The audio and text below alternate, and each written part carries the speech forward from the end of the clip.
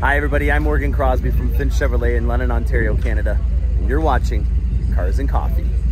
All right guys, I'm in my element again, another Cars and Coffee event, and I couldn't be happier. We're at Mount Bridges Ford for a Cars and Coffee event here. And uh, well, I'm gonna show you guys some things that I seen that stood out in particular at this event.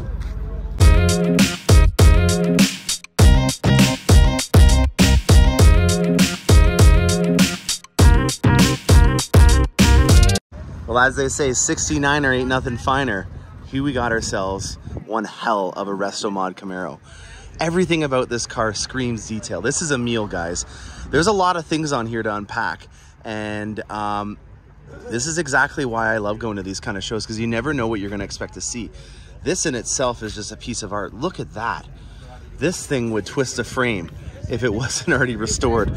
This is amazing. Wilwood brakes are in here airflow research is the headers that are on here. Look at all the chrome. Look at the fuelie pipes to this thing. That's insane. Now, it looks like it's a 60, uh, 67 because the side markers have been taken off. Even look at the detail on the door handles, how they've been inlaid into the side, but you can tell it's a 69er from the back rear quarter panel where it's a little bit more boxy. Interior is all redone on this. Look at the paint. How cool is that, guys? Oh, well, let's go in the inside and just take that look. Look at that. That is one heck of a Camaro. Well, we already saw this one at the last Cars and Coffee event at that Porsche dealership, and I was really digging the lights that were on this. But check this out, guys. We got ourselves a 3LZ Z06, a Z06. And um, there's a lot to unpack on this. This I know a lot more of the stuff on. So we're gonna go through showing you all the details on this one because this is a meal just like the last Camaro that we just saw. So first things first, right off the bat, it's black and you've got carbon fiber as the secondary accents on here. This thing has got a very aggressive stance in terms of the camber that's on these aftermarket wheels. I'm not familiar with the center cap and what company this is, but check out the offset that's on these rear wheels. This is a very deep dish. And when I'm talking about an offset, that's about where the hubs mount on the uh, wheel here. And um, I can tell that this was also done recently because it's got the brand new Pilot Sport 4S's on here in a 21. So um, quite a lot of work going on in here. And this is a very aggressive dish uh, or how deep the offset is. The offset again is where um, these spokes are moving into the hub. Now, if you also take a step back and you look at this, it's also got a pretty aggressive camber and a word to disclaim on that. It does make it look cool, but it is gonna make it so that you're wearing out the inside edge of the tire a lot more aggressively. So you wanna be very conscious about how much driving you do aggressively with that type of setup because you are going to wear out the inside of the tires a lot more aggressively than you would on a normal street setting. So this has got a very aggressive stance on the Corvette, which is cool for driving. Obviously, it's going to help out with performance as well because, you know, a lot of people are noticing with the C8s in particular that when you do have a, a more aggressive camber setting that it does have a better amount of handling. Now, I believe that the gentleman that owns this said that this is an AFE ground effects kit, and it's made to replicate the stage three aero kit that comes from the factory on a Z07 package. So all exposed carbon fiber. These canards are also done in exposed carbon fiber. I really love this uh, modification that a lot of people do to the Z06s where they take the side spats and they do them in an exposed carbon fiber. He's also blacked out the marker lights on the side here full length rocker panels in exposed carbon fiber. The steering wheel on this is also uh, modified. Look at the center console and he's got a short shifter from MGW on there as well. This is cool. Now these steering wheels have LED lights for your shifters on here to tell you when you're about to redline. So it is, um, it's working right from the factory. You can hook it up. This is also an aftermarket upgrade. So the scoops with the intakes are an option that you can do. And one thing just to suggest to the person that owns this, or if you're gonna be planning on doing this, make sure that you put the protective screen back in. Because as you guys can see in here, see all those little divots? That's from rocks and stuff that are coming in and um, getting into his intake system. And that to me is not, uh, let the motorcycle go by. That's a that's a very dangerous thing and an expensive mistake to happen if you don't have um, your protective screens on your side intakes for your cooling system. So down in and about here, there's going to be an accumulation of leaves and a bunch of other stuff that over time will get back in there and it's very hard to get it out unless you take the whole rear bumper and go through the um, the uh, the diffuser system for all the uh, vents that are on the back. He um, has a crosspipe ATAK exhaust from Borla on here as well.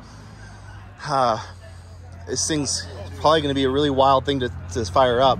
And then he also has the AFE cold air intake system on here, uh, which he mentioned that he didn't do a chip tune with. So it's interesting to see what kind of horsepower output this thing will be putting out. Um, mainly because when you do do cold air intake systems and exhaust and all that kind of stuff, you need to make sure that you're telling the LT4 that it's getting more air. So if you don't do that, it can have some interesting changes to the airflow mixture that goes into your Corvette and you might not get the performance outputs that you were hoping for. All in all, this is a very consistent build and uh, I'm impressed. There's a lot of cool things that I haven't seen on a Z06 um, and a couple that I really do recommend. The side spats in particular is a really great addition just because it's made out of a, a poopy, I was gonna say shitty, well, I've already said it, I guess. This is like the material of what the side spats from the factory look like on the Z06. And it just doesn't really go with anything on the vehicle. You got yourself a $120,000, $130,000 Corvette, and then all of a sudden on the side fenders, they put this plastic there. It just doesn't go anywhere with the vehicle. And I'm glad to see that that is one of the first modifications that a lot of people are doing.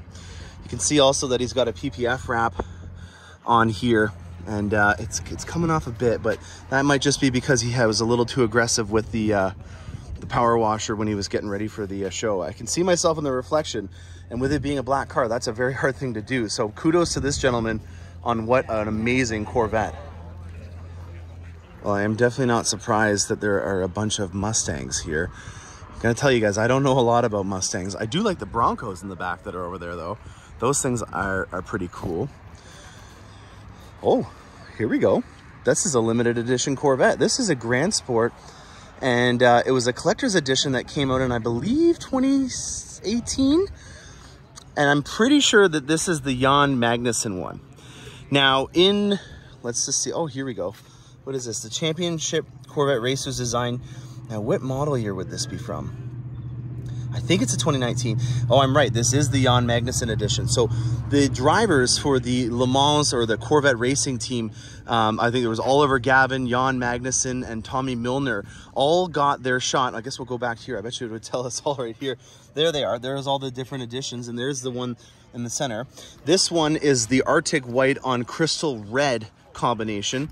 Uh, so these are very rare. There, there was not a lot of these made. I would say that there's probably under a thousand of these Corvettes and then I don't know how many of them chose the Jan Magnussen edition. It's kind of like with the IMSA edition that we just had on the C8, where they only made a thousand and you could choose between either hypersonic metallic or the accelerate yellow. And and just by the chance of who chose what color, that was the the composition of the different ones. So there is some coolness to that in that, you know, it's a luck of the draw on how many people chose this limited edition out of the set amount that General Motors was going to make. Now, it's a Grand Sport, which means it has the wider body, but it has the LT1 underneath the hood. Arctic White, which was the most popular color for the Corvette in that generation, or that, that model year. It has a uh, shark gray, I believe, uh, hash mark on here. The hash marks is one of the most iconic ways to identify a Grand Sport over a Z06. Um, on here, we had a very rare uh, wheel that was uh, similar to the spoke design that you had on the original Grand Sport wheel, but it was painted with a red uh, stripe around uh, the, the circumference of the wheel hub. Then you have your nice red brakes on there, red on the Grand Sport logo, jet black for the interior, and I believe it also came with a cool plaque that was in there as well. I can see it. I don't want to reach in too far in case he has this locked up and the motion sensors are on because then I'm going to make a scene with this Corvette freaking out. Now, I really do like the back end of this. You get a really good look at all the different colors that are on this Grand Sport. And it's a coupe, so that means the top can come off in the back. You can still enjoy and have some fun in the sun with this Grand Sport. A very cool build. I don't know exactly how many of these were made, but I, I bet you this is in the small hundreds, maybe two to 300 of these made in total. Um, don't see these every day. That's a rare build. Beside the Jan Magnussen Championship Edition, we've got ourselves a Shelby. And the reason why I want to talk about this Shelby in particular is because of what's on the wheels here, or what is the wheels on here. These are a carbon fiber wheel, and we're gonna know a lot more about that because the new Z06 is gonna have a carbon fiber wheel on it as well. So this is our first look in person on the channel of what a carbon fiber wheel is all about. A lot of people, you know, might not know what what it is. Is it is it a bunch of carbon fiber composite that's kind of um, fused together like fiberglass, like we have on a lot of the body panel components on a Corvette, or is it a spun carbon fiber wheel like they've seen on some of the old racing Porsches and stuff like that? It's a little bit of both. So on the inside barrel of this wheel, it's actually made out of a ceramic material, and that has a lot to do with the fact that when you're racing, which is obviously what you're supposed to do with a Z06, that um, when the heat is generated by these big six piston brakes, that it doesn't melt the carbon fiber. Carbon fiber is um, basically emulsified in a resin and then put into a kiln to cure. And the melting point of carbon fiber is not that high. So if you had this entire barrel made out of carbon fiber, over time, the radiating heat from the rotor and the brakes would compromise the integrity of that barrel and you would have a failure. And if you ever had a failure on a front driving steering wheel, that could be catastrophic because that could mean that the vehicle can go anywhere um, that the physics take it and that's obviously not a good thing. So um, the face of this is made all out of carbon fiber. I'm going to go back into the sunny side here so that you can see it. But you'll see that the barrel is not there is two versions for the Z06. You can get a painted version and this exposed version. I don't know why you would put all that money into getting a set of carbon fiber wheels and then paint them up. So that would not be the option that I would suggest, even though I haven't seen them. But based on what I've seen online and my experience in general with carbon fiber wheels, this is a very expensive option that I hate to say it, you're gonna pay more for less unless this is trying to become a, a garage queen because you can only imagine how expensive it would be to get a little bit of curb rash on this, this tire.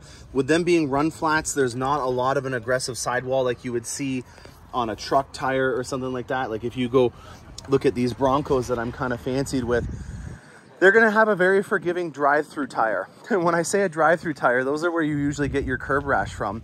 And when you're rubbing up against a curb with a truck tire, see how much more it protrudes out?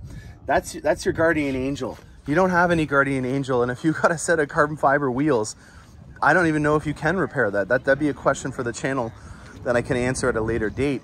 But um, you're you definitely have to be cautious when you're driving around with one of these because it, I, I again i don't even know how you could repair it. So we'll learn more about that when we see them on the z06 whenever i see the rapid blue on the new c8 I originally think of this blue, and I don't know the name of the color. I'm sure here uh, there'll be someone that'll know what it is, but here it is in person, guys, and I'm gonna quickly go over because I see that there is a Rapid Blue C8, and apparently it's brand spanking new. It just, it just got delivered a couple days ago. Now, right off the bat, just from comparing them, that, that blue on the uh, RS Focus was metallic, whereas this is a pastel. So there are some differences, but driving by, I always saw this as an iconic blue from the, the Focus RS lineup. But here we got ourselves a Rapid Blue. Ooh, wow. And it's got the Tension Blue 3LT interior. This is a 23, not a 22. There you guys go. There's your first look at the center plaque that's on the 70th anniversary edition. And then there'll also be right there a new decal that's on the rear window of the hardtop convertibles. This thing's right off the line and it's got the new forged wheels. What the heck? I did not know that this was gonna be here. Well, that's why you go to a Cars and Coffee event, guys. You get to see things that you didn't even know about. And it was two doors down from mine. All right, a lot to unpack on this one. We got ourselves a 3LT hardtop convertible with the brand new forged wheels. This is right out of the factory. I'm looking at it and it seems to be pretty base. And with the fact that my 23s just came in uh, a week ago. This can't be that much newer. I guess, you know, the either easiest way would be to look at the VIN number. Oh, this is 250. So this is probably two weeks old, this Corvette, because it's 250th off the line. Rapid blue, black as the accents. He's got the dual Indy racing stripe on it. He has the original Z51 splitter from the factory. Just talked about what I think about this pitted plastic material, but can't make a lot of knocks on this one. This is a really cool build. He does have red calipers, and if you look at the vehicle, there's nowhere else on this vehicle except for maybe on the seatbelts where you see red and, and the logos, yes, and the logos. Not my suggestion, but you know what? I can't knock on this too much. Oh, and the icing on the cake, he has the new black exhaust tips that just came out for this year. This is a sensitive topic for me because I'm I'm a little jealous that we couldn't retrofit this on the earlier models. Um, to me, this is just a, an amazing cost-effective option. It's $230 Canadian to get done on your vehicle and it just completes the look. Now I did my exhaust through uh, an aftermarket company, so that's how I got my exhaust to be black. But you know, for the people that are in the 20 years, the 21 and the 22s, there's no way that you can do it without taking the exhaust off. Now, on the topic of exhausts, I guess you'll see the Cars and Crosbie project in the future, but I actually have my exhaust from Corsa that I just picked up from Alloy Wheel Specialists that are going on my next project. So there's your first look, guys, at the next exhaust that's going on my next project that's tucked away in the back or in the frunk of my Corvette. Um, so you'll see that in a later video as soon as that Corsa exhaust goes on the new Cars and Crosbie project. All right, guys, this I've known about for a little while and I haven't been able to film it because the client did not want it filmed when it went through the dealership. But we actually brought this in for a client and uh, well, it's out in public now, so anyone could film it. I'm glad that he's finally getting a little bit more confident to show off his girl. This is here, at one point, the fastest car in the world. This has more displacement than about three pickup trucks. There's about 16.4 liters of displacement. We'll show you the engine in the back. It's all wrapped up, this Veyron. Uh, the original color is, uh, I believe, black that's on this one. It's a 2006 model. But one thing in particular that I want to show off to you guys, this is a set of Vossen wheels on here. And this is a completely forged set. So a little bit different than the hybrid forged set that's on my C8. And you can see it in the intricacy of these spokes. So it's even more intricate. It's even more, um, you know, precise in terms of how small the spoke design can get on these. And look at the size of that ceramic rotor on there. That is wild. So this is a 20 inch in the front and it's a 285 in the front as well. That's the width of the tire. The width on mine in the front is a 245. So that's wild that it's even that much wider. And um, I'll just look at the interior on this, guys. How cool is that? And it doesn't look that dated. Like this car is, uh, well, 2006. I'm not good at math in front of you guys here, but you guys do the math for me. Isn't that wild? And then in the back here, we've got 20. So it's sitting on the same kind of setup that I have, which is a 20 in the front and then a 21 in the back. But look at this, just like with most exotics, you have the engine exposed. This is two V8 engines that are slapped together. This is a W16, 16.4 liter engine, around thousand horsepower out of this thing. I think my favorite stat about this is uh, at full throttle, you only have about 12 minutes of full throttle before you go through an entire tank, which is just insane. I believe that that was it. I, I'm sure that I'll find the clip and I'll link it in is a clip that James May did from when he was in Top Gear. Hopefully it's not been trademarked if I try to link it in. But this is just an insane car. And again, to think that this is a 2006 and it still looks like it's ready to go to the moon in terms of futuristic styling. Absolutely gorgeous. All right, guys, Porsche guys are gonna like this. This is an RWB, which is a very rare uh, modified Porsche. These are, um, I believe, in the mid 80s. I had an 86. This doesn't look like my 86. I wouldn't be surprised if this is actually a 930 slant nose that's been modified. You can see that it's had uh, the top of it chopped off as it says here with chop top or chop shop. But Rauh-Welt, actually the name of it's usually in the front here for RWB. Rue Welt B Griff. You can see it there and there. All custom, like a Singer interior, just absolutely gorgeous Recaro seats. This is one of the coolest cars here at the show and they're extremely rare. And I'm digging the color as well. As you guys know, I like gray. And that is a really cool gray. Well, I would say that this has been a success. We've got old school Beamers over here. Nice turbo from a previous generation. I'm not even gonna try to list. There's another Grand National over here. We've got a Lingenfelter Camaro. This has been a great day. I have to get back to work because this is a Saturday and I don't normally even get out on Saturdays, but I'm very fortunate that, uh, well, with it being a Cars and Crosbie coffee event, I can do some networking here. And, uh, well, I hope you guys have enjoyed that. Thank you very much